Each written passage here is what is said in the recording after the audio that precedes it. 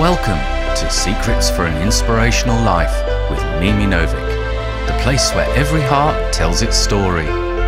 Whether it's inspiration, courage, or hope you need, you've come to the right place. Sit back and enjoy the journey with us. Subscribe below to be sure you don't miss future episodes. Hello, everyone, and welcome to another episode of Secrets for an Inspirational Life. How are you all today? I hope that you are well.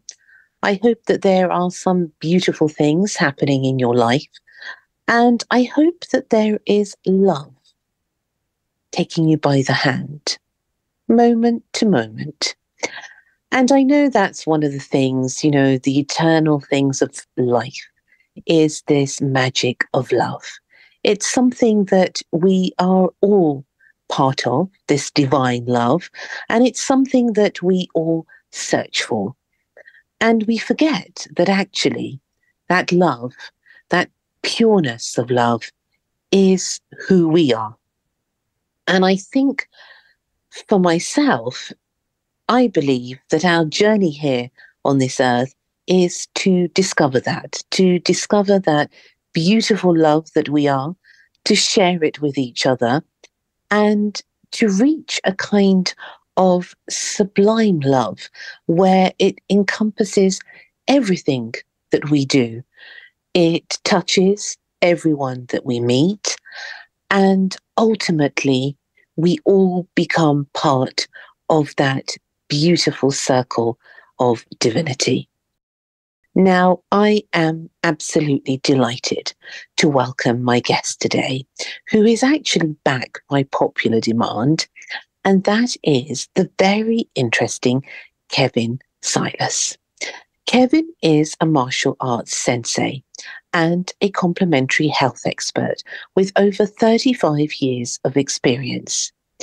He has traveled the world teaching his unique techniques that encompass yoga, meditation, breath work, and rebalancing, amongst other things. He holds an impressive sixth dan in kickboxing and second dan in jiu-jitsu. But Kevin's journey has not always been easy. Through his own life challenges, he has discovered a calling to help others find their true path. His passionate pursuit and exploration of the mystical aspects of life have empowered him to now help others find their calling in their own lives. His initial background was in dance and semi professional football, but he transitioned to training to Iyengar yoga with renowned practitioners like Ruth White and Shandor Remete after his profound life experience him led him to this path. Kevin's quest for knowledge led him to also spend a year in Australia working for Greenpeace and then further travels through the USA, Nepal, Thailand, and Southeast Asia. Along his travels, he met with the mystical Sufis who taught him the art of living in the present moment while embracing divine love. During his studies to become an Anusara immersions teacher, he had a life changing encounter with the esteemed Buddhist monk Ahbay Tulku Rinpoche. This meeting sparked a deep spiritual friendship that would forever shape his life and actually his path. Currently, Kevin is working on a book about his life, due to be published at the end of the year. Today, he shares his incredible journey. Welcome, dear Kevin. Welcome. How, how are you? I'm fine, fine. And how are you today? I am very good. Very good, thank you. Good, good, good. It's all rather fancy, I have to say.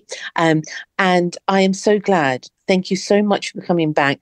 So many people wanted you back that we, I have to say, for everybody out there, it was so difficult to get Kevin back with all the things that he's doing. But finally, ta da, you are here. Here we are. Here we are. thank you, thank you. And There are so many things that people wanted me to ask you, but before we do all of that, just a little reminder for people out there who have heard um, about you before and for those who haven't. Mm-hmm. Tell us a little bit about where this journey of yours began, Kevin. Okay, well, um, thank you for having me again. It's lovely to hear, hear your voice. Very welcome, um, likewise. Where, where where the beginning was is pretty much like um, difficult to say. Really, it was almost like there was no beginning. It was just um, a slow um, a slow awakening, um, and like minor revelations all the way through from as far back as I can remember. Um, and we touched on this in the last talk uh, due mm. to the, um, the my upbringing and the challenges that that um, imposed on on myself and my my siblings. Um, life was um, was like the, the front the front the cold face of life was um, shown to us as children for many different reasons. And um, so, in that way, you found yourself having to ask yourself questions that perhaps maybe under what I call relatively normal circumstances, you wouldn't ask yourself as as a, as a young person. Um, so although it was a challenge and it left its indelible mark in terms of um, the effects, it's also a gift. And but that takes time. Over time, with experience, and as you grow um, knowledge and um, awareness and appreciation, and also being able to draw yourself away from the actual being in the experience as to taking a perspective from it from a different vantage, you know, different viewpoint, you can then see it from many different perspectives. So whether that's um, clear enough kind of like indication as to why I set off on these paths. It was almost like I had no choice. This was the way it was going to be. I had to go looking and searching and inquiring um, as to as to make sense of just what happened. You know, there was so much, like I said, chaos and upset and uh, dysfunction. I just wanted to know: was there was there a way of seeing all of that uh, in a different way. And um, um, and I'm, you know, I, I did find it, and um, I have found it. I continue to work. There's there, there's no such thing as um, an end product with regards this journey for any of us. It's an ongoing, ever uh, renewing experience, but nevertheless, it's um, it's definitely worth taking up. That's all I can say. If you're looking for um, a way to tap into um, qualities in yourself, such as contentment and love and compassion and um, yeah, unity. You have to do it, but no, you don't have to do it. But um, it just enriches your life if you do. So that to me was a spiritual journey. If you know, that's beginning of the spiritual journey. It wasn't uh, just deciding to become a yoga teacher and doing a yoga course or, or studying Sufism or Celtic mysticism or any of that, which I have done. Um, wasn't any of that. It was uh, it was more than that. And um, so I studied yoga for yoga's sake, not not to become a teacher. I was looking for ways to, to be honest, to heal what I had, which was um, a bit of a fractured heart. Um, so that that was that that was that that was the first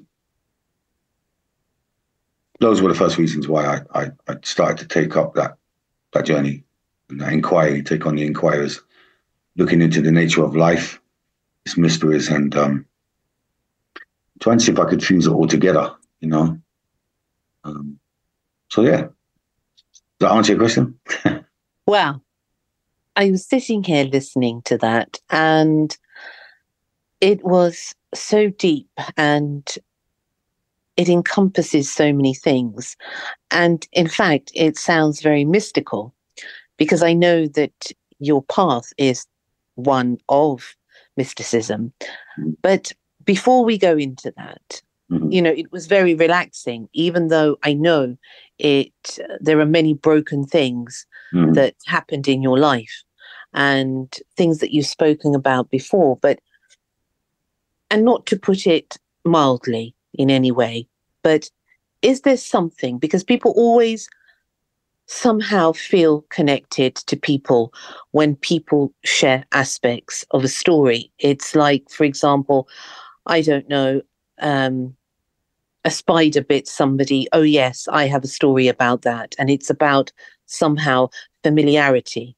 Yeah. So, what can you share before we go into the greater depths of Mhm. your spiritual path and your work now? What is it that you're able to share about what happened to you before that um, helped you in a way, propelled you to sort of, Yes. to put it in a better way, take the road, you know, as the famous book um, says, the road less traveled, so to speak. Yeah. Yeah.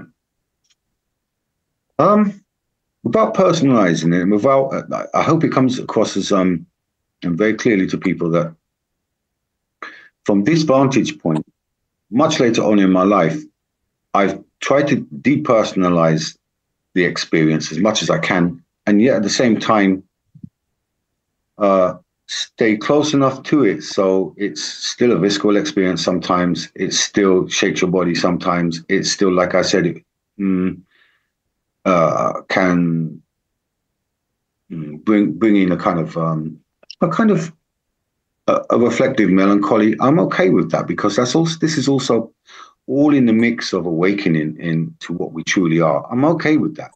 It's the shadow side. It's fine. It's absolutely fine. I want people to understand, I'd like people to understand if they've gone through really traumatic childhoods that there is always a way through it. And it's um it may be long, hard, and challenging. And you may have to make yourself you know completely vulnerable at times. Uh, you may have to step into your own tenderness, which is really difficult. You may have to relearn or completely learn uh, what what the terms like care means for yourself uh, and kindness and um, and again compassion because these are things that you're not um, when you're a child and you're going through um, that kind of trauma which is the basic trauma was that no mother or father when they were around they really really struggled with addictions and alcohol on a huge scale and unfortunately for us for the children for us children like i said myself and my siblings my mother reacted to alcohol in a very violent, dramatic way. So there was no peace hardly. There was just um, confrontation. There was fear. There was a complete letdown. Um, there was despondency from my mother and, again, myself, my, my siblings, um, and um, and and insecurity and so I, I was I, I, was considering this, and I was thinking, the brain of a child that's brought up with the fear of uh, threat all the time, pretty much, um, develops differently. We know that. We know that now. Um, the neuroplasticity and the research that's that's happening there. Um, to a child's brain that's brought up in a steady, regular home. Um, nothing's perfect. No one has the perfect upbringing. No one has the perfect life. Perhaps we're not meant to. And I'm not looking for the perfect life. I never started looking for the on these paths. I never thought I was going to something. I'm going to get to a place perfection where I don't feel anything, where, where I'm divorced from everything, where I'm above everything. That's not my path. But nevertheless, it was um, it was yes, very um, very challenging in that way. It was it was very difficult to see your own mother lost and bereft and carrying out behaviors that you just never saw. And especially, I'm talking about way back in the early 70s, through the 70s and early 80s, it just wasn't seen. It just wasn't that kind of behavior. Um, so, again, that's that's roughly it. Um, unpredictability, fear, and um, and you you can't settle with that. And so when it began to manifest early 80s, I took myself to college and I started experiencing what then was and is now, but like panic attacks. And now everybody talks about them. Everybody talks about anxiety, PTSD. Everybody's familiar. It's great. It's fantastic. It's everywhere. There's help everywhere. But back in those days, no one even mentioned the word anxiety. So for me, experiencing anxiety and anxiety just coming out of the blue, didn't understand the symptoms. I didn't understand what was going on in my mind. I was feeling completely lost. You know, I could be in any setting whatsoever. It would just come on. And that's that's that's that's a challenge. Um, you you really really have to hold your ground with that. Otherwise, you become very lost and very uh, disorientated and don't really get back from it. So, so I really, think- yes. Thank you for sharing that because that's not an easy thing to share. Mm. And I think that I have never met anybody in my life who has had an easy past, I have to say. Mhm. And the ones who have had it the most difficult are actually some of the most considerate, compassionate, and spiritual people. Because I think we go through these things as children, some more difficult than others. Um, and there is a greater reason for this. I, I absolutely believe it. And you're absolutely right, Kevin, because you can't compare two people that have led a traumatic life and one that hasn't led a traumatic life. Because No. if you've been in a state of trauma and survival, firstly as a child, somehow the makeup of you um, in this world becomes the one of a survivor. It does, yeah. Yeah. And there's no way that you can shift from that, I don't think. I, I, and some looking at it on a more deeper level, I think the survivors, the warriors, in fact, are the ones that were meant to be that even before I'm going to put it completely out there now, that happened before we came onto this earth. I always believe in destiny, and I believe that there is a greater reason that every single one of us is here on the planet. So, everything that you've gone through takes a remarkable act of courage, then. I'm still astounded um, knowing you um, and how fantastic you've made your life and what do you do for people now. But how I want to ask you, and for people out there who may be experiencing this, how do you take yourself from the anxiety, which is often crippling for Yeah. people who have experienced it? Yeah. Um, it actually overtakes your life. You can't live your life No, you, can't. you, you can't you, it, there's no such thing as living your life you're existing You exist. and you're waiting for the next panic attack to happen Yes. um, and then you have to get over it and you have to start again so going through all of that actually going to college even though you have been through so many traumatic events with you and your siblings and your life Mhm. and the details are not important um, Yeah. Because I think that's something that um, I'm sure maybe in your forthcoming book um, people can read about. Um, but what's important is that you survived. But how do you survive? How do you? How did you make that um, choice to say, "I'm going to survive. I'm actually going to go to college. I'm going to make something of myself. I'm going to work through all of this." How did you do that? How does one do that? I think I think okay. So now now comes in. It's, a very good question, and I think it was because it was so extreme and what what, what I witnessed um, as a child. Things were so extreme that in a way they served a purpose because of that extremity. Um, and, and again, what I witnessed, I, again I had no choice but to look at different ways of remove it. Was there? Is there? Will there be? Because I asked myself when I was very young, will there be a way out of this? Is there a way out of this? And that was like that came to me at like eight or nine. I saw so much upset and despair, and um, I, it, I, look, like you said, I I just didn't have a choice. Now at the same time, I know this may sound again um, odd to people, and it had nothing to do with mm, any uh, notion or me trying to understand what God was. I was eight or nine or ten, but it doesn't really. It, it didn't really matter to me. It was like what I was shown was so again dark and extreme, uh, and different spheres of existing, just existing through despair and uh, poverty and seeming like uh, the soul was gone in people, and that was I witnessed that in my own mother, and um, for me it was not because I went to church, not because I picked up a particular holy book, none of that. It was more uh, pressing than that. I felt uh, through it all, I had this feeling that no matter what was coming, no matter what I had to confront, it was ineffable, but there was an energy, uh, a power, a presence. Even though there was a lot of darkness around, there was also a bigger, more poignant, more powerful presence, the best way I can put it. And that always stayed with me. It's always been there my whole life. So I wasn't, again, it wasn't like um, I must find a faith. I, you know, if I believe, I wasn't. Yes, I was desperate and I was having panic attacks. And yeah, I'll admit this, you know, to people. We've got to start from where we are. Um, uh, yeah, your heart's broken. And at a young age, that's a tough thing to deal with, and you never repair it fully.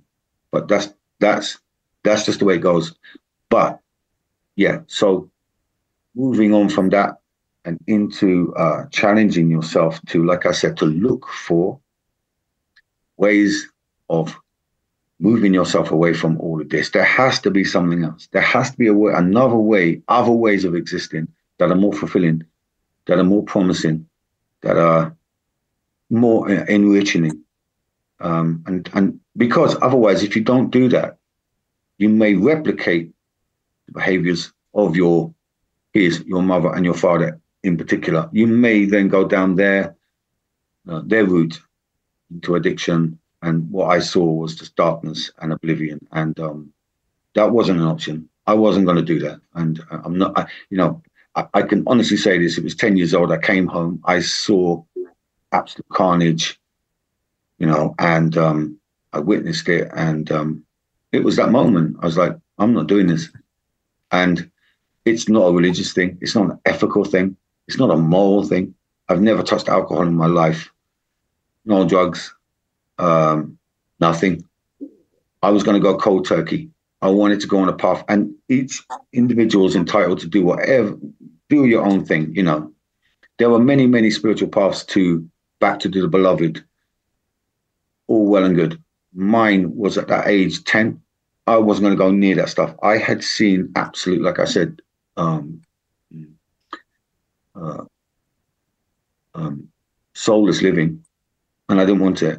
And so so like it's a very good question you ask. That was my impetus and it's always stayed with me. Whenever i felt vulnerable whenever i felt lost i felt confused when my life got stuck when the anxiety was so uh, vivid and apparent, apparent and it stopped me from doing and living, I always went back to that place. I'm not drinking. I'm not taking drugs.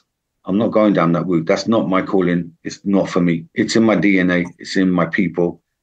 It's in the past.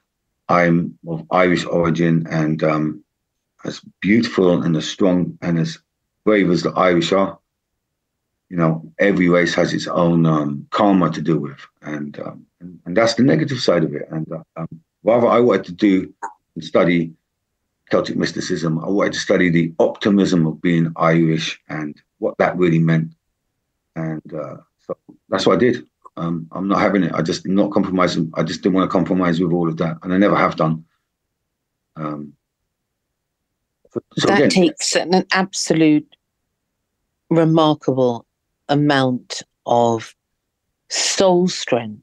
This isn't. We're not just talking about a physical strength.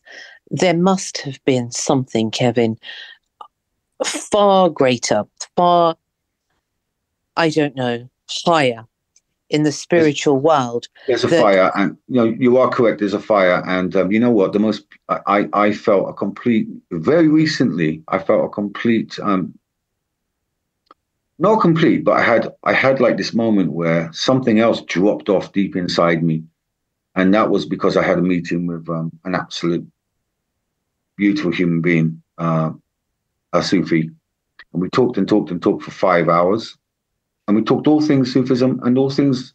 To me, Sufism means life. To me, it embellishes life. It brings color. It brings a richness. It brings depth. Um, it brings again beauty, divine beauty. It's so incredible, and conversation. Five hours of it was. Um, it's okay. It's okay to um, these things. It's okay to let your heart break because that's where we need to be. Keep letting your heart break. It's like wow, can I? I, I can let my heart break. You know, most of us try and hold it together, even on the spiritual paths. We're still mm. holding it together. As long as I do A, B, C, D, and carry out these routines, even on the yoga mat, it's like I hold it together. No, no, no, no, no, no. This, this, this realm, in the Sufi realm, it's okay. It's the journey of tears It's not self pitying tears. It's the journey of opening up and making yourself vulnerable, placing your head down and opening your heart. There's nothing more healing. There's nothing more exquisite than that. Honestly, from my from my heart, I mean that. If people that have suffered, or any human being on this planet, could just orientate themselves just for one moment a day to consider that, just take yourself to a quiet place, move into the silence, and listen to the the language behind the silence, and understand your in-betweenness. I do, I, I contentious. I call Sufis, we say beloved. There's no way I would survive that without the presence and the power and the grace and the, the love of the beloved. I know that. I, I I wouldn't get into an argument trying to convince anybody else. It's that's not not my thing. Mm. But I know that I've known that, like I said, from a very young age, and that's what got me through. Yes, you're right. You can't get through it in on your own. And again, the Sufi, the Sufi way is I don't need to define God. I don't need to define God. I just need to know. I need to know and listen. My inner ears. We all need to do that with our inner hearts. Listen, because there's there's always a moment when we get an invite, almost like a calling back to that beloved, to that source, to divinity, and um, and sometimes we miss it sometimes we're too far away from what I call the Golden River, which takes us back there. We're too far away. That's okay. Don't stay too far for too long. Otherwise, we may become, we may convince ourselves that we don't have an ultimate soul home. Um, and we can convince ourselves of that. And the ego can take take control, and uh, we can live in a secular, uh, materialistic world, and nothing else matters. Um, which is, you know, doesn't really add much depth to to anyone's life. But um, so yeah, absolutely. And I, with the Sufis, Sufi and the conversation we were having, having together, it's okay, like I said, to let your heart break. In fact, it's imperative that you find yourself doing that and cry. Cry tears of remembrance. Just crying and allowing yourself to be that vulnerable is not just healing. We all hear these words, healing, and uh, it's not healing. It's, it's way beyond healing. It's that calling to remember where you come from, and that no matter how hard it's been and how difficult, it's it's it's okay. Go back to that golden river, and even dip your toes in it, and there's tremendous, unbelievable uh, awakening that can happen. Um, and then and delight, all right? Because what do I say delight? I don't mean it in the light way, L-I-T-E. I mean true, deep, resonating delight. Because we only half live if we don't have that quality in our lives from time to time. I cannot think of anything more delightful than remembering that you can go back to the beloved and be embraced in that grace and that immense presence. Honestly, it's it's life saving. Another thing I'd like to say to people is this right now in the world, I'm no one, I don't have the solution. What I'm saying is this from the Sufi perspective, I would ask people to remember you are born, male, females, or what, or however, you are born to be lions and lionesses. You are not born to be crawling around. From my perspective, coming from my upbringing and what I've shared with you so far, picking ourselves up and getting ourselves off our knees was hard enough. Standing up for a long time was hard enough, metaphorically speaking. And now we're talking about uh, journeying back to the source. That's not easy sometimes, but it's definitely worth doing for all the experiences one has. But equipping ourselves and remembering our, remembering this, that we are lions and lionesses. And if you use your imagination, if you wake your imagination up, your true imagination knows no bounds, no boundaries. You can create that. You can find that inner strength from just visualizing qualities of literally the living and breathing lions and lionesses on the planet that we share this planet with. Integrate those qualities in yourself. Got indomitable spirit, courage, grace under pressure, you know, um, move, even the movement, the lyrical movement of the big cat. You know, hold yourself right, hold yourself upright. Not your chest sticking out in arrogance, not your chin sticking out in arrogance, but in assured knowingness that you are more than you ever imagine you are. You know, apart from being the most mysterious thing on in the whole cosmos, human being, you are the most mysterious thing. We are the most mysterious thing to ourselves. Apart from that, step into that mystery, but step into it as a lion and a lioness because you need to. You can't go floundering around in these inner realms, in these mystical realms. Everybody thinks it's. I have this idea that people think it's it's all. Um, it's a kind of like a an easy thing to do. You know, we can romanticize about it. We can, uh, you know, create um, falsities around it. It's not easy. And so don't don't think that you don't need to be very, very resolute and strong at times. You need to be. You need to go through these escarpments and terrains and levels. And you need the courage of a lion. That's it. End of. I would suggest that that beautiful philosophy was fed into, especially children that, that don't get looked after properly, that are neglected, um, that they have someone that reminds them, no matter how hard it gets, no matter that you feel abandoned, you inside, if you find that lion inside you, you can do and achieve and, get through anything. Anything that life, any challenge that life throws up at you, do not go down on your knees. Get back up. Now, if you do find yourself on your knees and you're crying, not in the not in the valley of tears sense, but you're crying out of loss and pain, that's also okay. That's that's fine. Give yourself some time.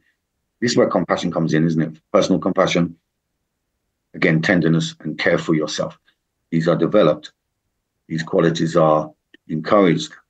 We learn how to use them. We learn how to invite them into us, into ourselves, and become familiar with them. So they're ready a hand when we need them. No problem with that as well. This this this thing called life is uh, we don't have a blueprint for it. But like I said, rather than being a ship without a rudder, if you can just even again visualize the beloved behind it all, the essence, the source of all things, and basically love,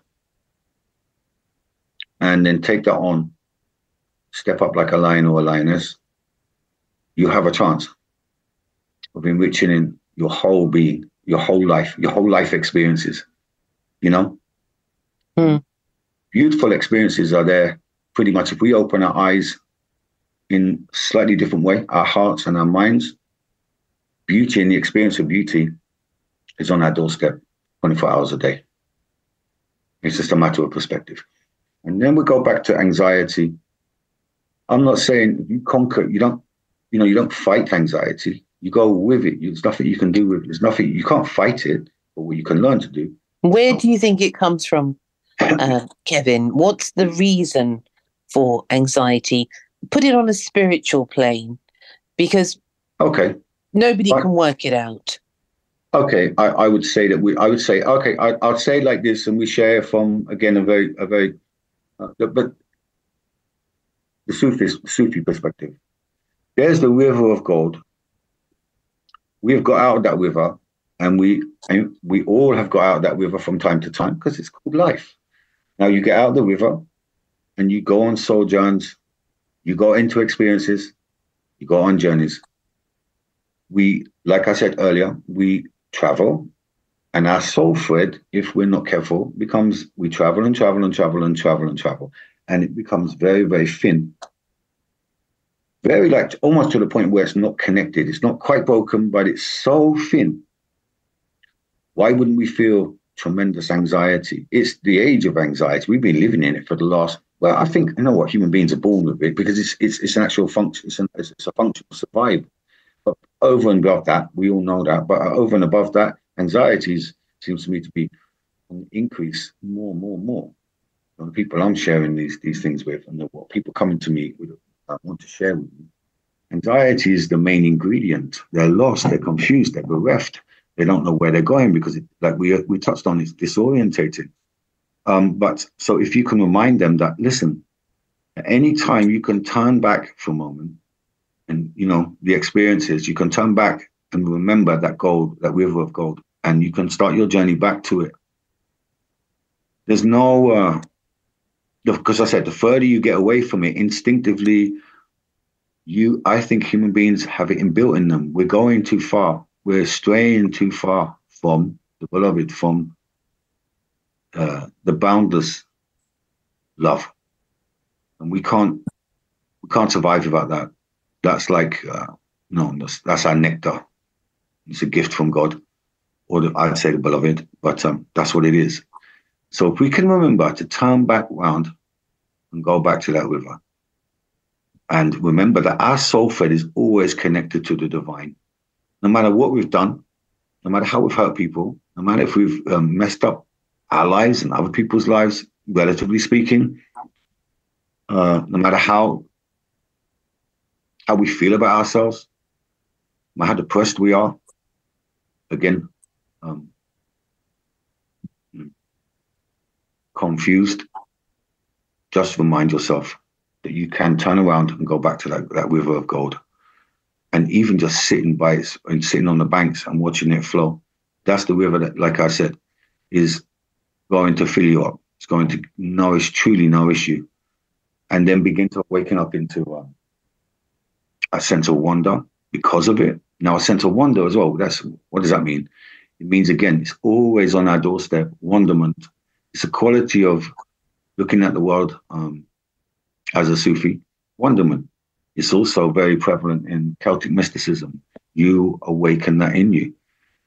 There's no end. It's endless what you can um, garner a sense of wonder from, you know, from flowers to trees to rivers to grasses to birds, the whole from skies, you know, different different uh, temperaments, the weather, it's all there. Music, love, everything, a sense of wonder. You're gonna. I think, I think it's a beautiful, um, enriching thing when we have a sense of wonder about the beloved as well. It fills your heart up. It expands your heart automatically. Um, with uh, with so much richness. Um, you're half healed um, if you remember, just by remembering that we can turn back. We always have the option to turn back from things we have created in our lives, all the experiences, can turn back from them, can, and head on back to a vast uh, inner, inner, in, inner realm, um, inner, di- you know, I don't know, kind of like almost like another dimension. We'll, we will be trans transformed just by remembering that we do have a home to go to, uh, an eternal home, you know, and I just think that's priceless, beautiful. Beautiful, absolutely beautiful. And you took me on a journey, Kevin, really. I don't know where it was, but it was somewhere that reminded me again the simple truths about life. And these are all, I think, innate to us. We do know this as children. And our life sometimes steers us in another direction through all the things that happen to us. But you talk about the Sufis, for example, and Mm. they are a mystical bunch, let's put it that way. And what's wonderful about them is that they absolutely accept anybody into their um, communities and into their Yeah. hearts. Yeah. And this is what I love about them is that um, it doesn't matter where you're from, Mm. um, who you are, what's your background.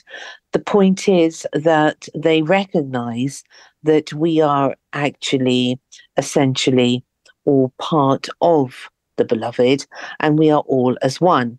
Yeah. And I think that I'm no expert, but I think one of the biggest things that I see these days in life is that the separation feeling of separation leads to this anxiety and also the forgetfulness of ourselves Yeah. the forgetfulness of this incredible beauty and this incredible truth that actually you know people are going to say i'm a hopeless romantic.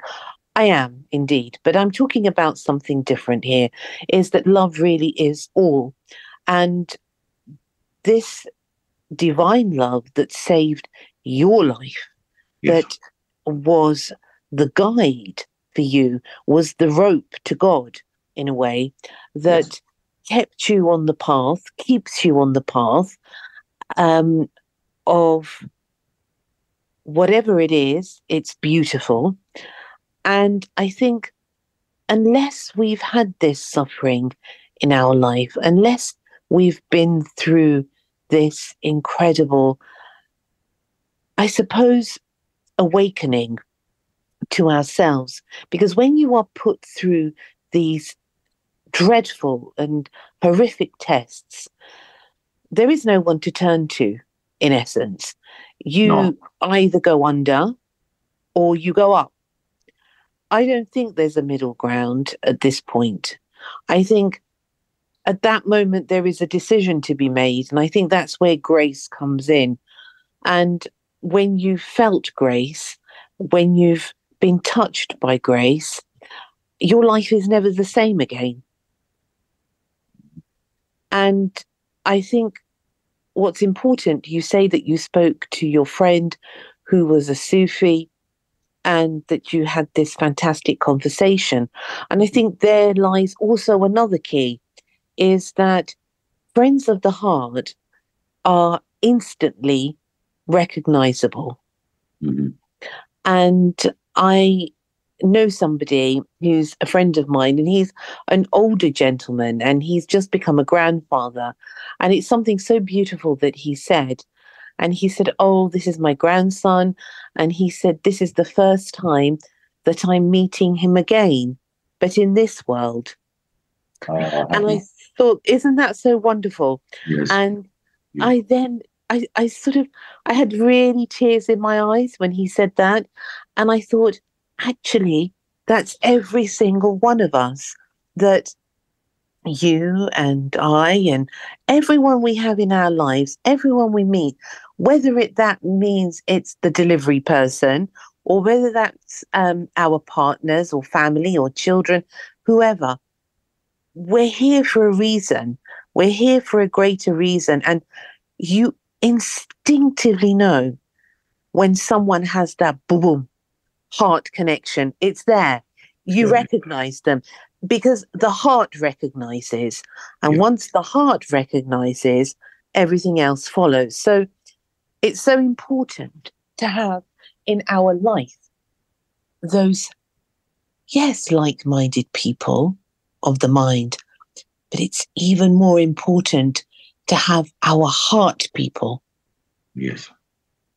unless in these times, especially now, you are with those people that can lift you, that can support you, that actually play the same symphony as your heart, it's impossible to survive.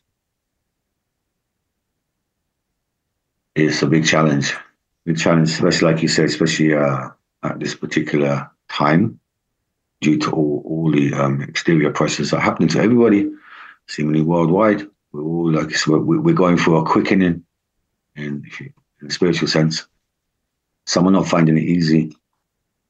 I am very now. Uh, I, I, recognize, and I'm very, very lucky and fortunate to have already had a bedding and a grounding in uh, um, how to how to uh, enter into these different realms, and to sometimes and to negotiate these terrains.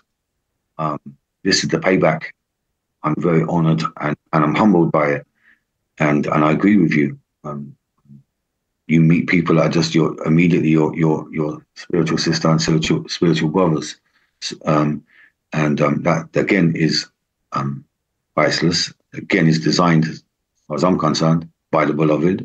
It's meant to happen, and um, then we can find a refuge for a moment uh, within that relationship, within the relationships we we uh,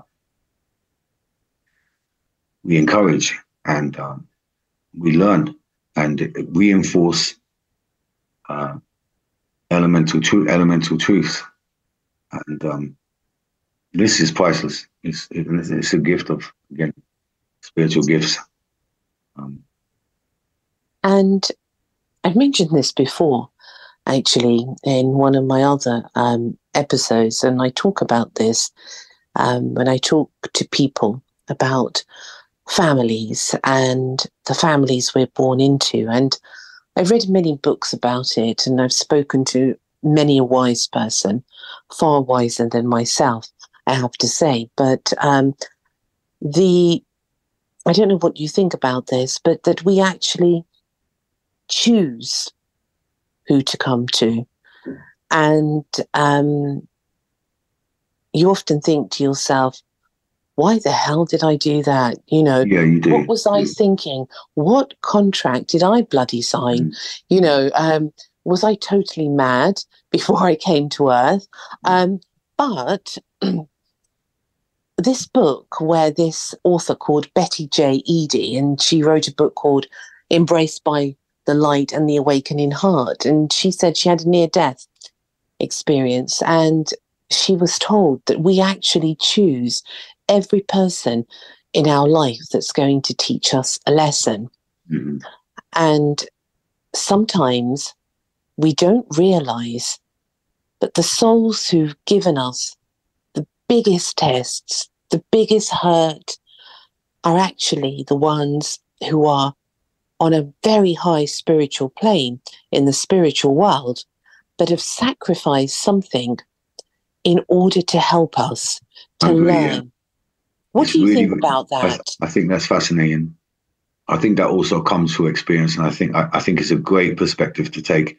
So we're to, in, in Sufism, it's called alchemy. So you mm-hmm. take the base metal and you transform it into gold, and when yeah. you can do that with uh, all things, then life changes. And if we can remember that we have that capability, I, I totally agree with you.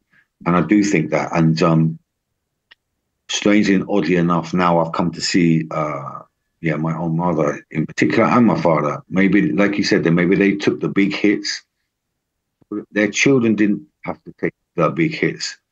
We did take some, but they took more. And it's um, so yeah. If you and so it turns turns your inner realm and your inner beings, you, you take that and say, oh my God. And now it turns into golden. It's like a gift. Oh my God.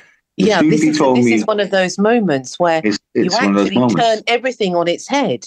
Absolutely. And if you have those de- the dexterous skills to do that mentally, spiritually, mm. this this this is why this is why we said so from the beginning of this uh, podcast to now, where it's all been it all threads together and weaves together, and it's amazing. And you see the nuance, you understand uh, so much more subtleties of of, of um, the events that have happened to you, twists and turns on the road, and then you bring a you bring a more joyful heart to your life experiences. This then, like I said, it transforms everything, transforms everything, the way you look at everything, the way you listen to everything, the way you experience everything. This is where the inner richness is. And we can go into the world, like I said, we leave that river, we can believe that, you know, tranquility, peace, enlightenment, all of it's outside the river. It isn't. But we have to learn those lessons. It's okay. And like I said, if, if that thread of thought that's connected permanently to the divine is stretched so thin, the divine never gives up on you though. You can stretch it as thin as you want. You can take it from light years away. You can keep stretching it. But you know what's so beautiful? The moment when you just, when the moment when you realize you're pulling out that soul thread and you are trying to break it, when you realize that you can't, and actually you don't really want to, you were just always just, uh, it's like a child, you know, testing its boundaries. And then you remember, and especially for people that have been in like very, very, very stressful, dark situations for long periods of time. It's yeah. like that remembrance again. It's big in Sufism.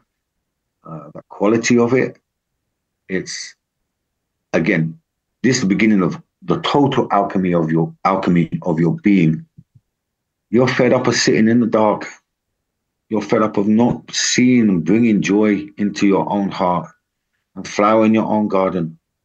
It's too long to be away from that. All the flowers are dead. There's no life. There's no music. There's no bird song. There's no divine beauty. There's no divine beauty. It's called the virtue of God, greenness of God. You remember, and that little journey goes back, even if you're crippled because of the life experiences you've had and you've taught, you've given yourself. Take responsibility, take responsibility first, and then go home. And even if you're calling to begin with, you'll you'll eventually, like I said, you'll get back up because the closer you get to that divine source, the more you're gonna have you're, you're going to fill with strength and uh, and life force. It will come back to you, and you know on that journey back, that's when you'll notice the geometry of God. You'll see the face of God in flowers. You'll see the face of God in the design of the cosmos and everything in between. I'm I'm being serious. I'm being sincere. That's what will happen. You hear the music of God. You're allowed to dance. You're allowed to, you're allowed to rejoice. You're allowed to sing. Oh my God, I remembered. It's just, you don't need to, if it's for you, you know, that personal journey, you don't need to tell anybody else. Your heart's, your heart's opening. That's your journey of tears back to divine beauty and joy. There's nothing that can compare to it. It's, it's I can't think of anything in life right now that I have in my life that I would swap for that. I make a promise to myself I will never stray too far from the Golden River again. I will never do it. I've done it. I went looking. I made I made some good choices. I made some indifferent choices. I made some bad choices. But I will never leave that. Too, I don't want to go too far from the river. In fact, I want to dive into it now. So for all my life, that's what I've learned.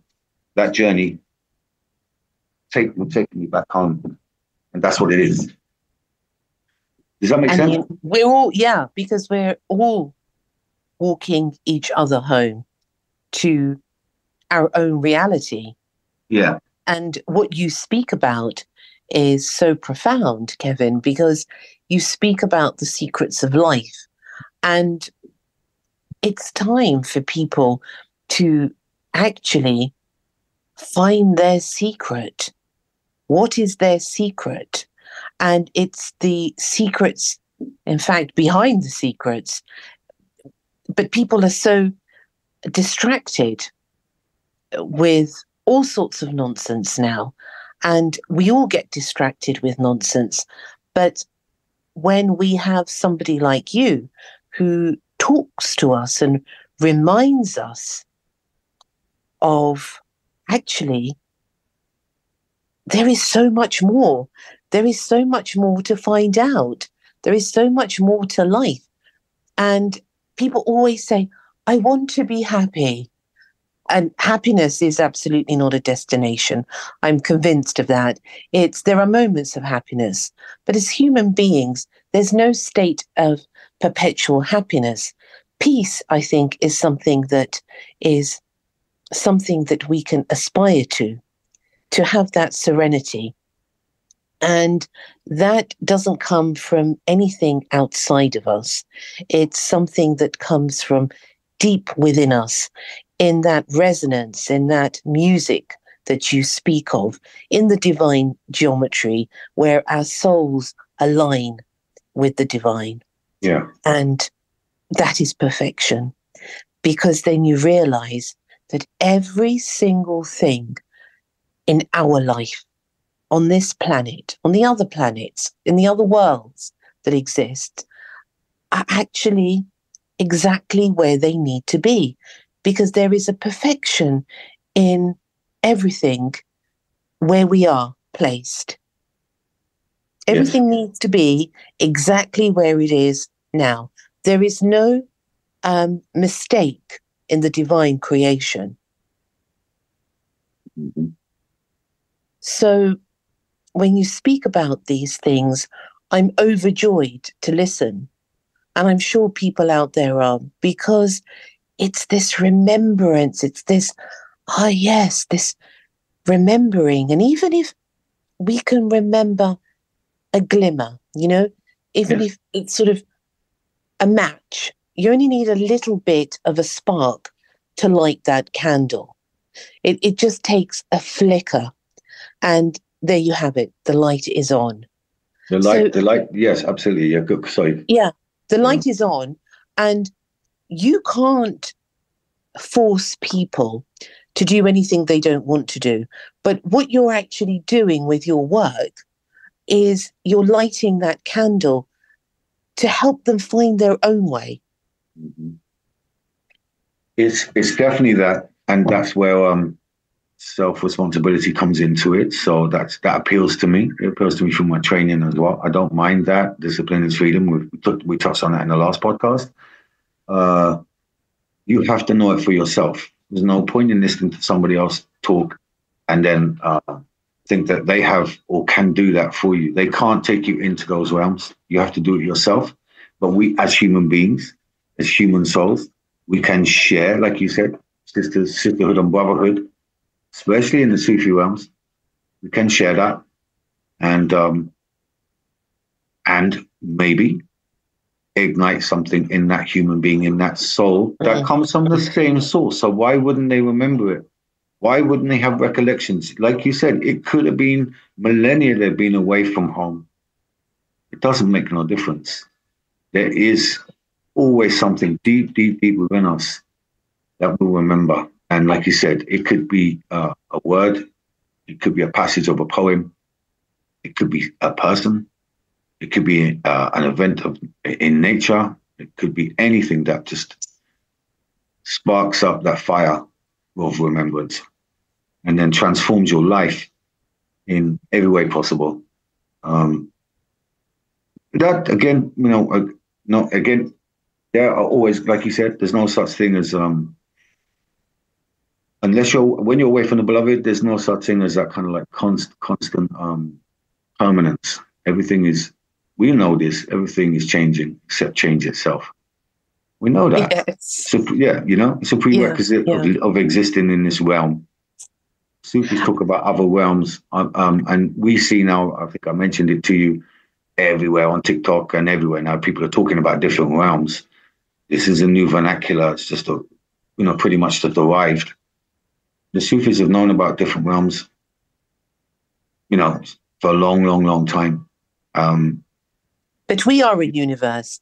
Every single one of us is a universe, and not just one universe. We are so many different universes. Mm-hmm. If you think about the most simplistic thing, um, if you think about me or I think about you, and then the phone rings.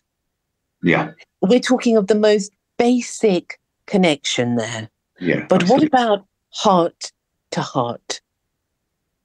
What about if my heart talks to your heart, talks to the hearts out there? Yeah. Because if you speak from the heart, it's a language that everybody understands. Everybody understands it. Everybody it understands the language of, yes. of the heart because everyone has a heart. So we're going to understand the language of the heart. We are going um, to yeah.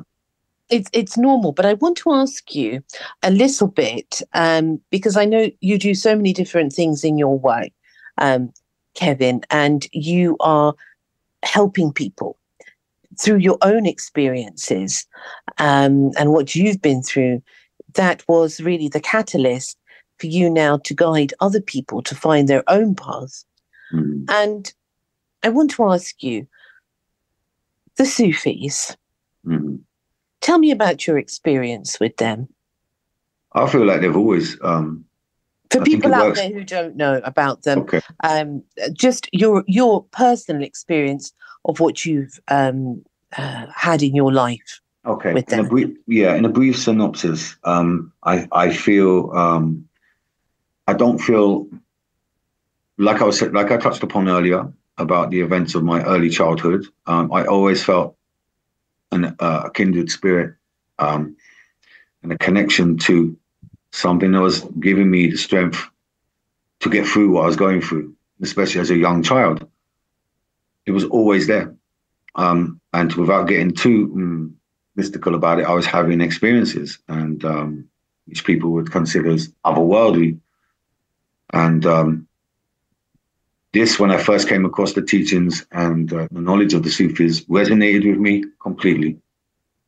Uh, beings on other levels, on dimensions existing. I well, okay, okay, that's interesting. And uh, alchemy, like I said, um, recognition of the power and the true uh, healing properties of being present in this world, and also considering the other realms.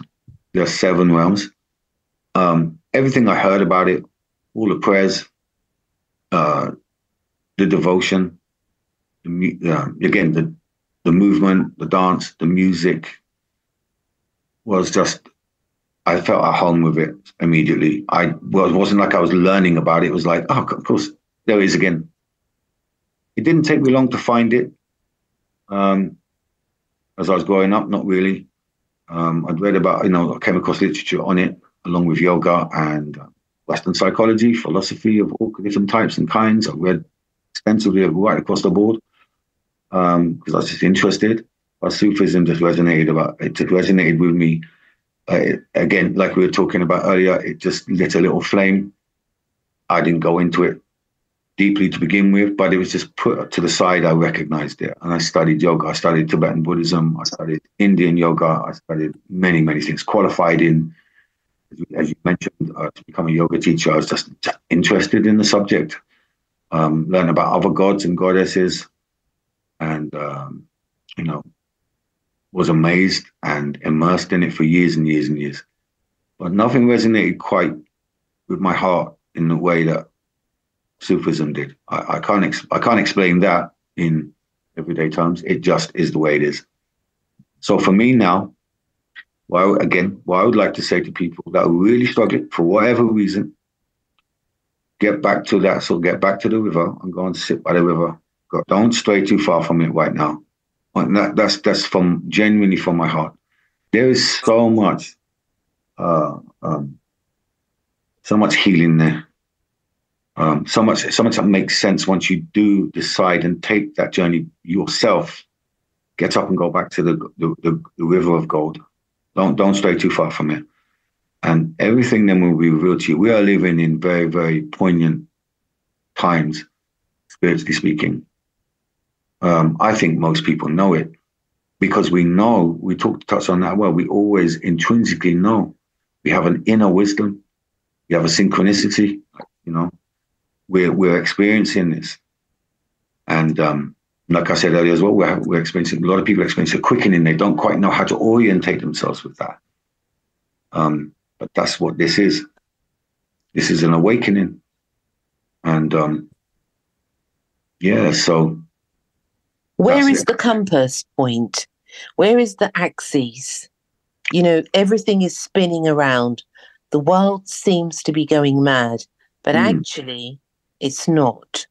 It's a accumulation of events that there has to be a change in the world. yeah, it, does- everyone knows it. Everyone Mm. knows Mm. as you said, there is something far greater on um, many levels that's occurring now. Yes. And actually, it's a reflection of what is going on inside of us. It's one thing to go out there and to talk to people, um, I don't know, in whatever form, or to actually not agree with other people mm. and to make that voice heard. But ultimately, unless we change our condition, ourselves, and unless we change ourselves to be who we really are, I don't think there's going to be peace in the world. Uh, that's just my opinion, um, because it all begins with us. We are actually the representatives of God on earth. So, if and but we are not angels. We're not, um, you know, we're not complete we you know there's the earthly side of us which is the egotistical side of us and then there's the spiritual heavenly side of us which is the soul. And we have to have an ego in order to live on the earth because we're made um, of the earth. So you can go out there and we can you know not agree with this and not agree with that. Um, but actually think about the possibility of if we actually change our inner self and focus completely on the worlds that you're talking about and take your advice, then we become that beacon of light for everyone who has contact with us, surely. Yeah, I think we're there. I think we're at desperate frontiers right now in many ways. And um, for some, for a lot of people all across the world, regardless of um, circumstances, uh, it's a very, very challenging time. Therefore, I would say that apt now because these, these, these, what we talk about in, again, referring to Sufism, when we talk about um, beauty, for instance, divine beauty, so it seems like, yeah, but I know, but what's that going to make a difference? How's that going to make a difference in my life? It will make a profound difference in your life because it will bring joy into your life. It will remove elements of sorrow from your life. It will enrich your life in ways that are unimaginable because you have taken it upon yourself to look and to experience life in a different way. If we stay again in the confines of sorrow and again of bleakness and heaviness, well, how can the world be any different for us? Right? So, like you said, it's how we perceive things. Now, when we have that backing and the symphony of God behind us, the beloved, now we imagine seeing the world through the eyes of the beloved, that what, what it truly as what he what that energy aspires to is creation, is um, incomprehensible beauty, divine beauty that we have all around us. It's a gift he gives us. So we need to open up our heart minds because we are in those bleakest times, like I said, and this is our challenge. But wow, we can do it. Now that's not chasing so much wealth anymore. We all need to work. We all need to be responsible and look after ourselves and our families. Of course we do. But what I mean is, over and above that, maybe perhaps these difficult times will finally have people realizing we need to turn back within to come back out and, like I said, alchemize ourselves so we can then lend that to the to the world. It's not again shouting people down. It's not getting them to believe a certain way, or uh, you know, uh, believe in particular lit- literature, or literatures, or holy books. No, it's way beyond that. Sufism is way beyond that. Time that we took uh, some responsibility and then enjoy that sense of responsibility in its truest sense. And I can't think of anything better. I can't think of anything more healing uh, right now in this world can't think of anything more that will enrich our lives and help people remove them, you know, get themselves out of, like I said, depression states and many other um, challenging states that we're finding ourselves in. Um, yeah. Um, so don't I be love afraid. It. I love it. I love it. And it's uh, so wonderful what you're saying. I feel like I'm in one of those hot air balloons in Cappadocia in Turkey. Good, good, because you're in the land of the holy men, and yeah, yeah, beautiful. Beautiful, beautiful. if I could just touch on this one last thing, the uh, of course. So in, in, in the seven valleys of Sufism, is if everybody, if anybody is interested, just have a peek and have a look at what that actually means. The seven valleys. The last one, I think, um, is interesting because it's the valley of true poverty and absolute nothingness. You know, we've all matured in this world. We've all kind of like come across Zen literature and on, well, not all of us, a lot of people. It's, it's everywhere uh, for the last 30, 40 years or so, accessible books on Zen Buddhism, Buddhism itself, and, and the idea uh, of nothingness, shunyata in Zen Buddhism. Um, I'd just like to touch on that briefly. From a Sufi perspective, it's very similar, but true poverty, we've absolutely been made to be, you know, by uh, by the politics of the world, uh, the, the mentality of the politics, we have to be um, absolutely petrified of scarcity. We have to be petrified that we will find ourselves in poverty. Well, so what? Do you compare? Could we compare without being unreasonable? Like I've just touched on, we all have to make a living and take responsibility. But beyond, over and above that, nothing again would compare to the, the filling up you would receive from having going back to the river of gold and then eventually getting in the river of gold and going back to your source. What can compare to that? So true poverty, you experience true poverty means that you absolutely abandon yourself. You lose yourself. That's what that means. It doesn't mean physically, but inside. You drop every preconceived ideas you have of yourself, all your identities, everything.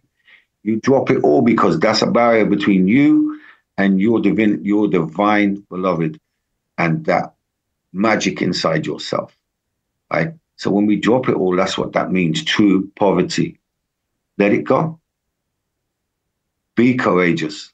You need to be courageous. Be again, take the essence of what it means to be a lion, and that's what it means. Then lose yourself and keep losing yourself. Lose yourself to life. Lose yourself to music.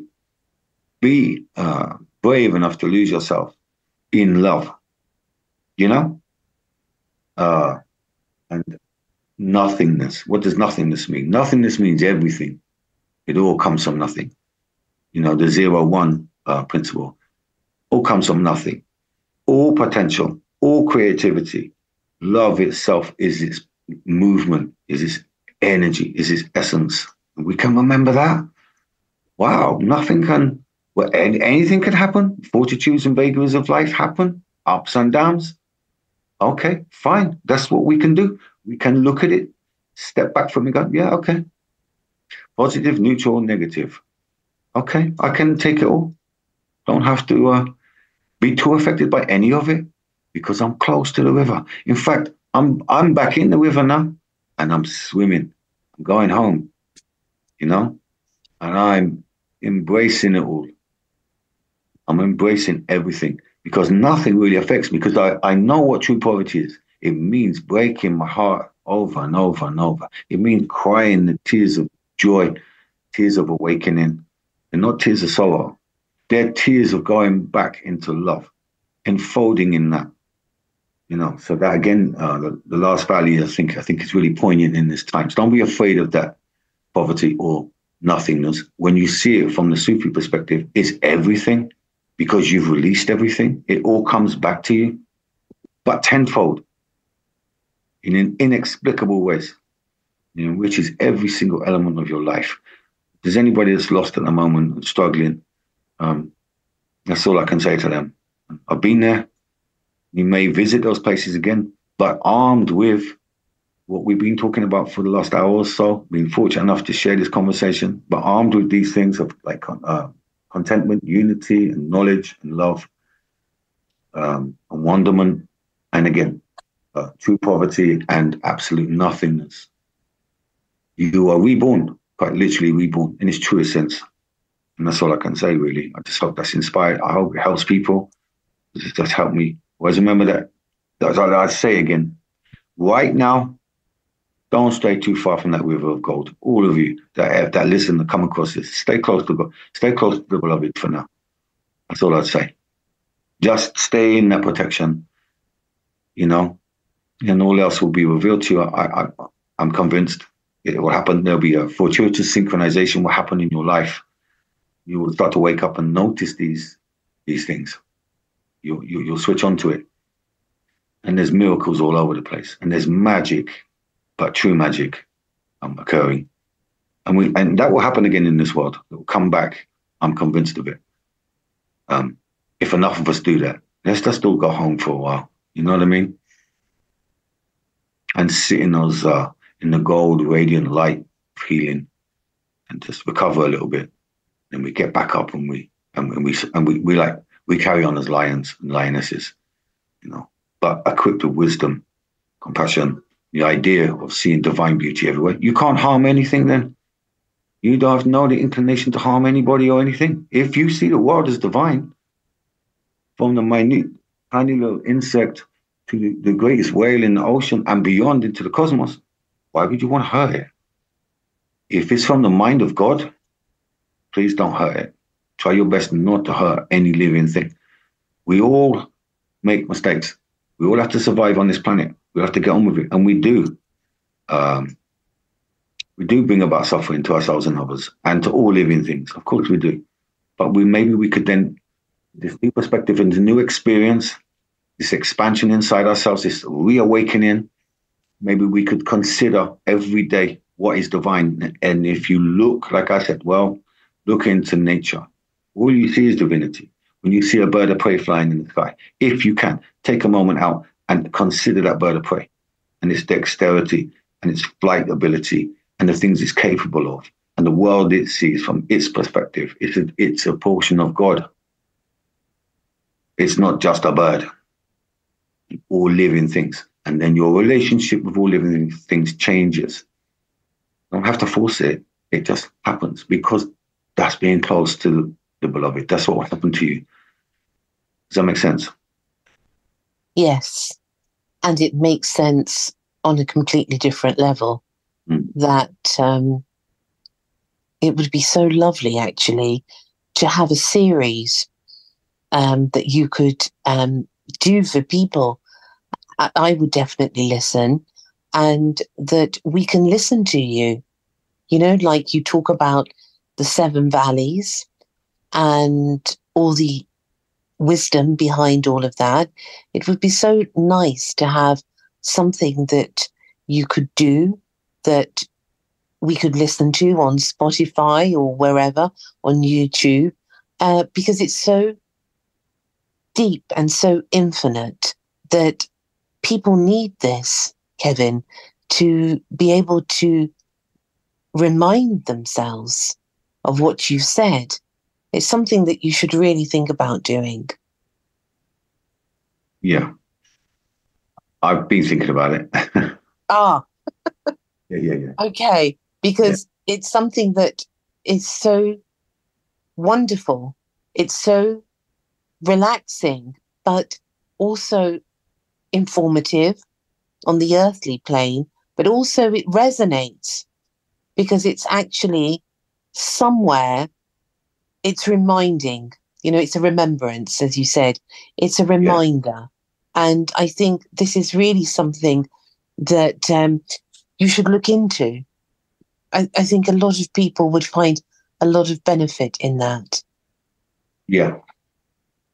Um, I, Thank I, you. I, I, I, would- I would try. Yeah, I would try. I will look into that, and um, Yeah. um, maybe try and um, yeah. I mean, hopefully, yeah, we- we'll get something going. Reach out to people, and hopefully, it will help people. Yeah. And and yeah, just share, have that, build up that relationship, and see, see where it Beautiful. goes. Absolutely beautiful. I am really so grateful for you to come on today and to share your time and a part of your essence with us because it's really something that I will be thinking about. It certainly helped me to remember so many things. And I'm sure after we finish this conversation, for people out there also, it it's something that you can't put into words. Um, no, it's, yeah, that's it. You and I shared this, and you and I also know the limitations of words, vocabulary. yeah, And it's beyond that. And and again, so you're invited to enter into the infinite in your heart yes. and your mind when you enter into these uh, valleys of Sufism or any other road that you're on that appeals to you, that does that for you, that inspires you to do that. But can I just quickly just finish? Very, are we, we, do we have time? Yes, yeah, go we ahead. Have about a minute. Do we have a minute left? Yeah, go ahead. One, go one ahead. of one of my inspirations for has been for a long, long time was um, Omar Khayyam. Um, mm-hmm.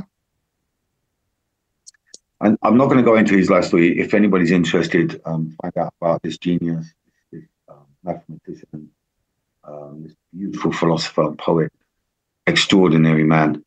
Um, but at, at, the end of his life, he wrote a quatrain, and he was um, when you read his um, the the poetry, um, you would, would not you would think from um, the literature and what he says that he had no time for Sufism, but he was always a Sufi.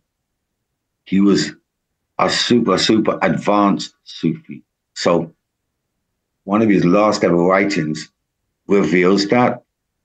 Um, and it's so beautiful and it's very apt for us now. I think it's relevant for us now. So I'd, could I read it? Of course. Okay. So this is Omar Khayyam, um, famous author of the um, Rubaiyat. And this is one of his um, quatrains. And it reads, Until when the hour of its homeward flight draws near, it is time for it to return to its ampler sphere. It carols with joy, for the veil is raised, and it spies such things as eyes cannot be witnessed by waking eyes, such as things as cannot be witnessed by waking eyes. I've had a mistake. But that what he's saying there is for all his life, for all his um, experiences, for all his studying, his points of view throughout his whole life. And this man was rich in knowledge. That's what he finally uh, left for his students and for the world to, to read for eternity.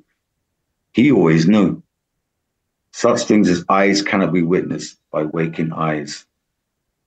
So the veil was lifted. The Sufis talk about the veils. He knew all along that there was a beloved, that there's no reason or sense to all the stars and the cosmology, the planets, and how they all unify and work together without there being a creator, a designer, an architect. But he just hid it from people and tested them. And um, yeah, what a beautiful thing. Beautiful. It's well worth um, reading that. Yes, it is. Yeah. Again, just Omar Khayyam's Rubaiyat is so enriching, and that'll enrich your mind and extend you a bit. And also find out about how extraordinary that man was, mm, mm. what he contributed to to science and to philosophy and to literature. Yeah. he was also into astronomy, wasn't he? Yeah, yeah, yeah, yeah. Yeah. So many things that um, these wonderful um, examples of, you know, not just a poet, um, but so many other things and that he actually delved in, which is actually, it all goes hand in hand. The cosmos, the universes, which is all part of who we are, as we are, you know, as they all say, we have t- stardust in our veins, and it's absolutely the truth. And yeah. anytime I'm feeling down, I remember you have stardust in your veins. Mm-hmm. And it's yeah. so beautiful. Yeah. But Kevin, what can I say? I am not even going to try to say anything um, after all of that because it wouldn't do it justice. So I'm going to leave it in the hearts of the people who are listening. And I hope that everybody who is listening out there is touched by what we have shared. And I'm so grateful, really, for you, Kevin, for the listeners out there, because when you share such a moment in the cosmos, as you said, it has to have an effect. It has to have something beautiful alight upon our lives. And we might not realize straight away, but for sure, one day we will know that this moment we shared and there was a far greater reason for it. So I thank you again for coming. Thank you very much for having me and for um, giving me the time. Thank you. It's been a real pleasure. Thank you. Thank you. And for people, thank you, thank you, thank you. And um, for the people out there, um, Kevin, where can they get hold of you? Where can they find out more about you? Uh, you can you can contact uh, people can contact me and find out more about um, what I do and um, what I teach and uh, and other and other things on um, Kevin dot Silous Mm-hmm. sixty four Mm-hmm. at gmail.com. Okay. And your website? peacefulpathyoga.co.uk. Okay.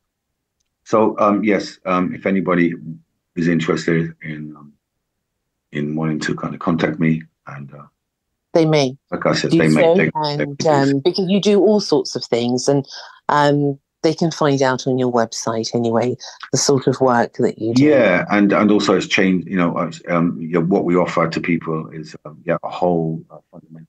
Okay.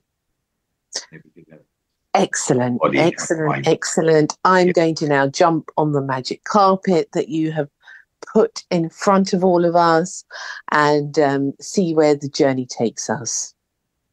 Well, enjoy your journey. Be wide-eyed on your journey. And we'll all meet each other somewhere along the starlit sky. I'm yeah, I hope so. I hope so. all right, then. Thank you so much, Kevin. Thank you. Thank Bye-bye. you. Bye. Bye. Bye. Kevin Silous. Incredible, really, how much wisdom so many people have out there. And I am so grateful that my guests are willing to share these precious stories. And of course, I am especially grateful to all of you for listening. It's such an honor, really, to have such a wonderful, wonderful array of listeners. Thank you so much. Now, go and do something wonderful for yourselves. Life is for living. Look after yourselves. Until next time, lots of love.